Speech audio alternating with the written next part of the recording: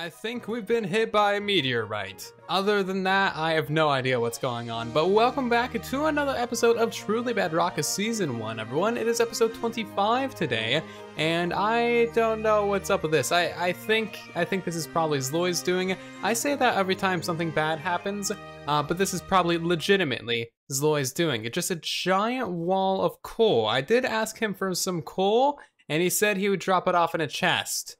Uh, he clearly lied. I think he was trying to box in my house, but then he got bored and left.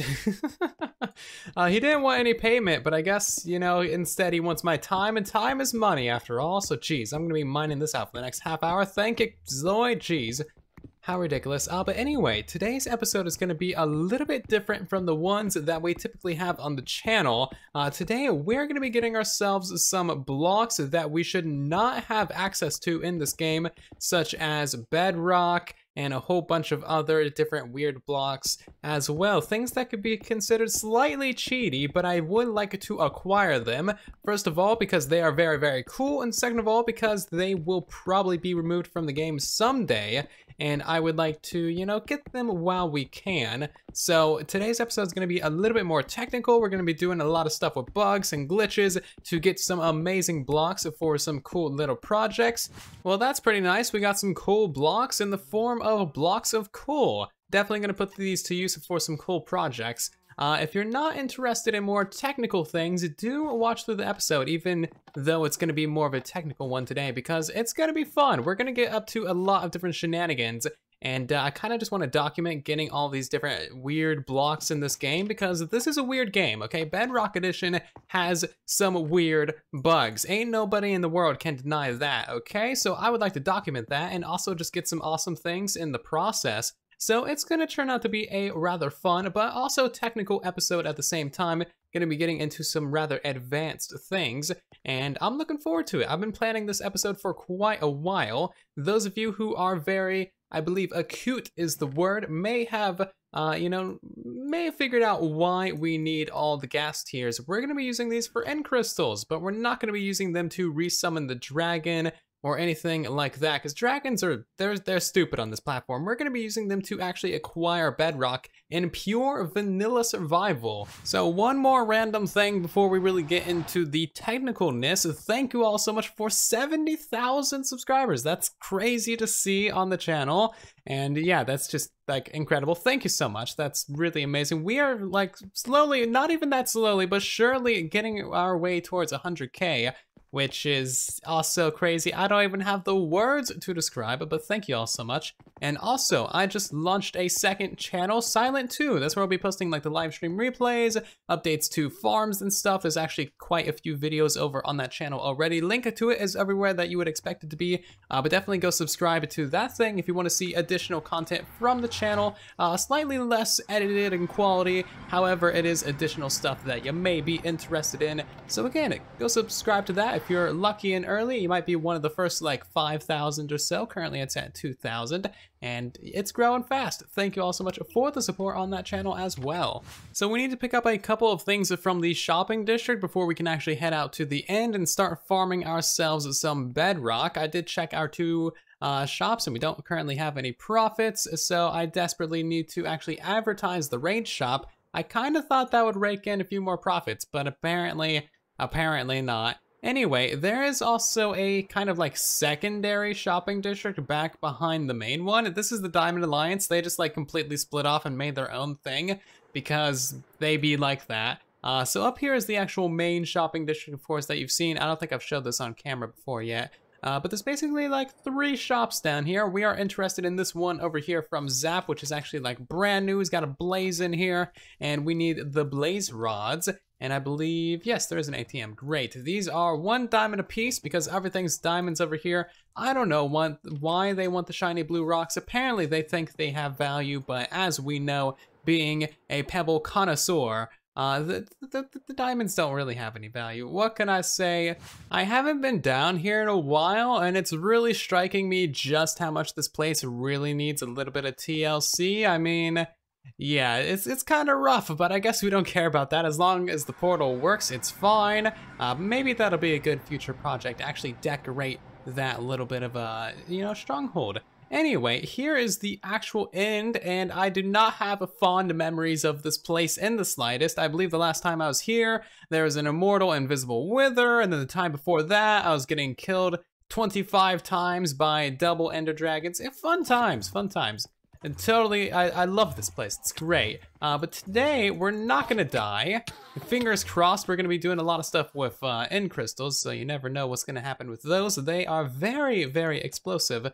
Uh, but I do need to get myself a couple dozen more Eyes of Ender, and for those, of course, I need Ender Pearls, and in order to get those, I gotta grind through the end, so give me a little bit of time, and then I'll have to mine out some area around that end portal, and then I'll actually explain how we're gonna be farming the bedrock, and there's actually quite a few game mechanics that go into this. So this is probably the most end crystals I've ever made at one time. I'm not gonna make the full like stack that we could make out of our 64 ghast tears because we actually only need 20 for this bedrock farm to function.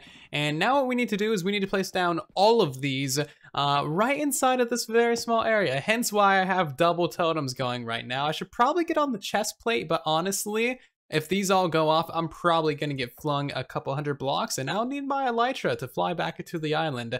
Uh, so yeah, let's hope that we don't die. But basically, what you need to know is that uh, the, the end crystals aren't going to resummon the dragon unless you place them on these four corner spots right here. I don't trust having those on the hotbar right now. Oh, hi, Zap. Hi there. uh, I don't know what he's doing, but I'm, I'm, this is claimed territory at the moment. Uh, so yeah, basically what we need to do is we need to actually break uh, these portals. Just like that. Very simple, very easy. A lot of people overcomplicate this, but it's actually extremely simple to break these little portals. You just gotta place a water bucket in there and then that's pretty much it. So yeah, pretty simple. Uh, you can also place a block right there to get rid of these ones as well. So there's a couple things that you need to know about these in like portal fountain things and also about end crystals as well. Basically, as soon as we remove each and every single one of these actual portals, that is going to force this fountain to actually regenerate. That way, you know, in case something weird happens, all of these uh, get destroyed, the portal will just regenerate, that's fine, you'll be able to get out of the end.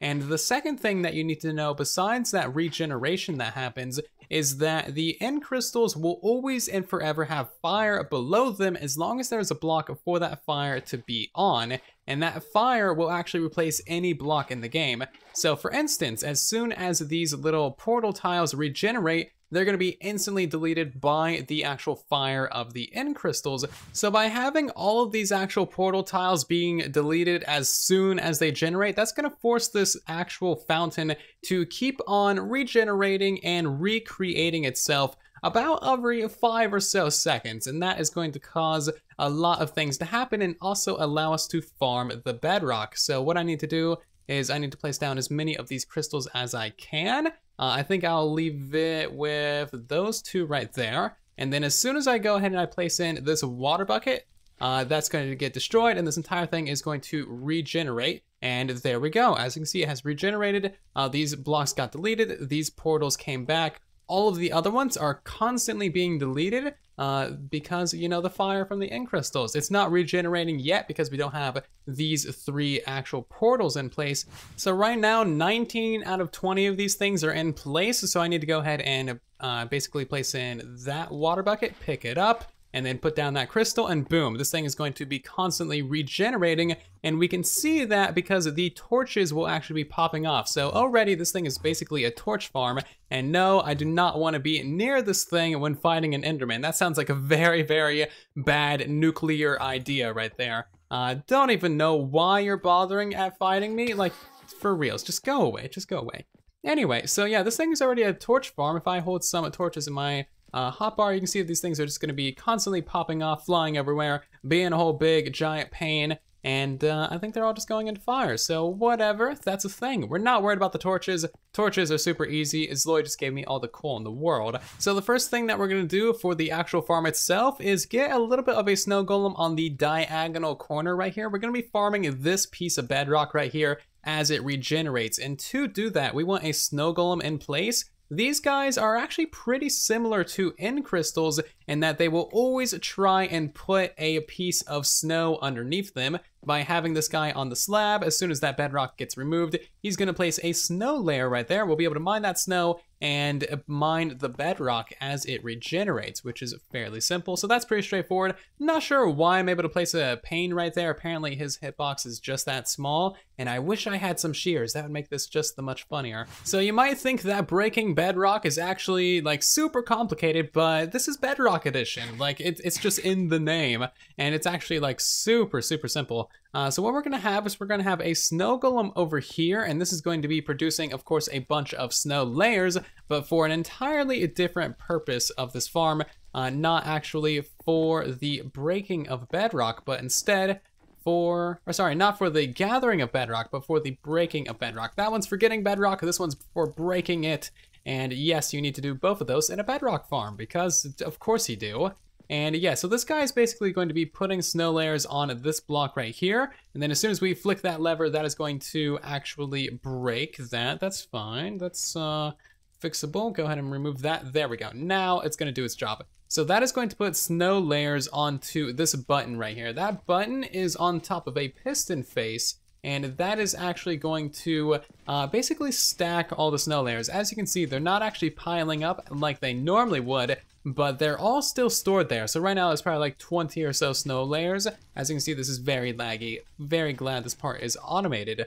But as soon as we actually press this button, it's gonna fire upwards uh, and put a snow block in each one of these three places. So let's go ahead and turn that off. Otherwise that would get deleted. And then we're gonna press that. And then yeah, as you can see, all of that just got turned into snow. And that is actually the entirety of the farm done. It's not a fully AFK design. However, it's semi-automatic and it's renewable as well. And you can get as much bedrock as you like with it. So now we need to actually just use the farm. So the last thing that you need to know about this is that you need to mine the bedrock with Silk Touch because reasons and chaos. Uh, so as soon as we press this button, we need to turn to the side and start mining the snow layers that this snow golem is going to be putting down, of course. And that's going to allow us to more or less mine the bedrock and have it plop off as an item when we actually uh, or when it regenerates. So we need to go ahead and press that. Also, I took all the stuff out of my inventory because uh,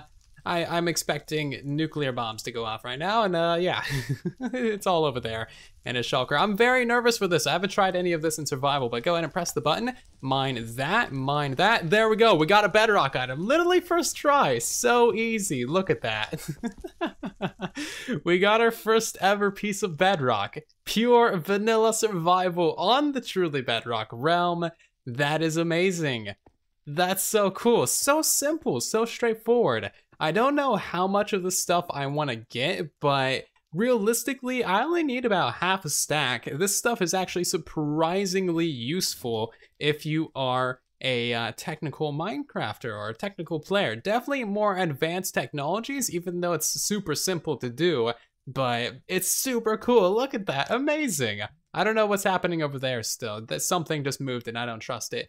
However, that's really awesome. So of course I didn't just straight up discover all of these mechanics on my own or anything. There's a lot of different people that have been working on this kind of tech for quite a while and that is kind of cool. So a lot of it isn't actually on YouTube. A lot of it is actually on a Chinese website called Bilibili and a lot of that I do not understand. I've like never really used the website or anything because I don't understand any of it. However, there is a lot of cool Minecraft tech over there, and there's honestly just a massive uh, Chinese, like, technical community, which I've never really been a part of. Didn't really know was a whole thing, but it is a whole massive thing. And I've been talking to a lot of those guys in the Tech Rock Discord, which is basically just like a technical Minecraft Discord for the Bedrock Edition, and there's a lot of cool people in there, lots of cool stuff. I'll have a link to it down below if you want to check it out. However, uh, yeah, a lot of these guys have been showing me how to do some stuff. People like Jax and Panda4994, Kenneth Do, Dr. Jan Cyan, and just a lot of different people in general have been working on this kind of tech. Now, none of them really explained how any of it freaking worked, so I did figure out a lot of the mechanics uh, just on my own, just from like testing around and figuring stuff out. So I haven't seen any farms like this using snow golems or anything. Uh, but yeah, as you can see, it does work quite well and I'm quite happy with it. I think it turned out very well. Again, there will be a link to that Discord down below if you want to go check it out. There's a lot of very strange technical things in there. And by strange, I mean awesome. So over the last little while, I have released, of course, 98 Bedrock Edition tutorials, but in those 98 tutorials, I've never released a farm for farming Bedrock itself. So let me know in the poll and also in the iCards or sorry, in the poll and in the comment section down below if you guys do want to see a tutorial for some form of bedrock farm. I have some ideas for how to improve this, mostly fully AFK bedrock breaking. That's the one thing that I really need to figure out. I don't know how to do that, but I think I can probably figure it out. And yeah, if you guys want to see a tutorial for this, let me know comment down below, because honestly, it, it's kind of fun, and I'm gonna really try to not accidentally place one of these. I know it's just me, but I was really expecting, and I'm very disappointed that the bedrock breaking sound is just like the standard item plop. I really expected it to be like way more heavy duty sounding, but it's just a standard item plop.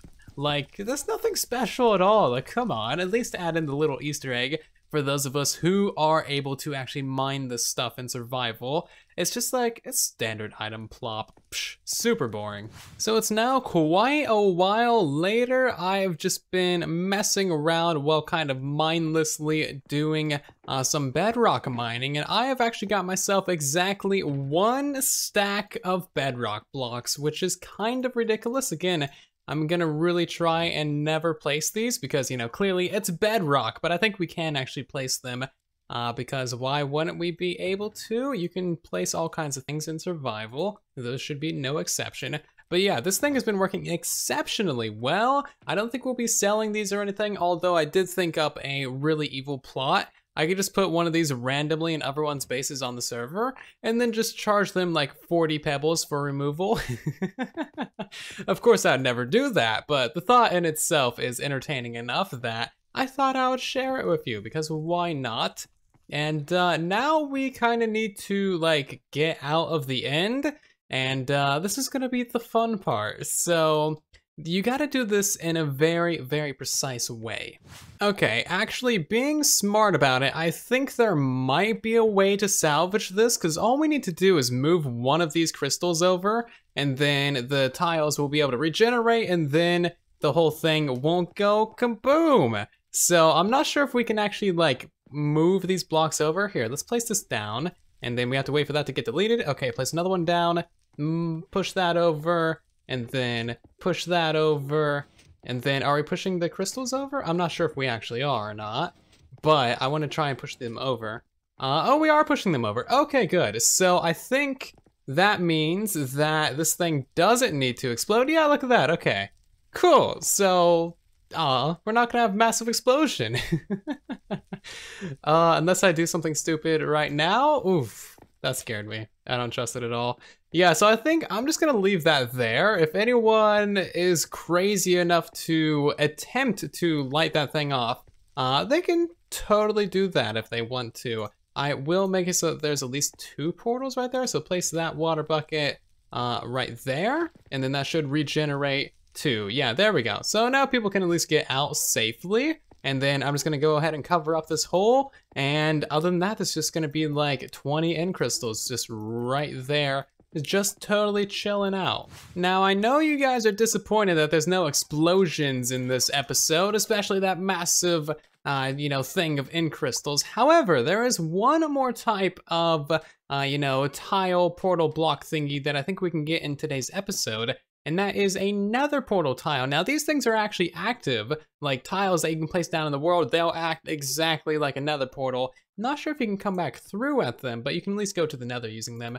And there is a special little technique to get this. Very weird, but this has been around for a little while. And basically what we need to do is we need to blow up these tripwire hooks. As you can see, this thing is now here, floating on this block. We can get rid of that string if we want to. Uh, that string didn't actually exist. So now what we need to do is we need to light this nether portal at the same exact moment that we actually mine this thing with a silk touch pickaxe. And that should give us a little bit of a nether portal tile. Again, I kind of just want to collect this because it's gonna be kind of fun and like why would you not want a nether portal tile like for realsies now i have tried this out in creative on creative worlds and it hasn't worked however uh, Realms lag is known to actually help with this one. So what we're gonna do is we're gonna aim at this very specific position right here, hence why I'm not moving the camera. And we're going to start mining and then walk forward And oh my god, we actually got it. Look at that, a portal. It's animated too. What?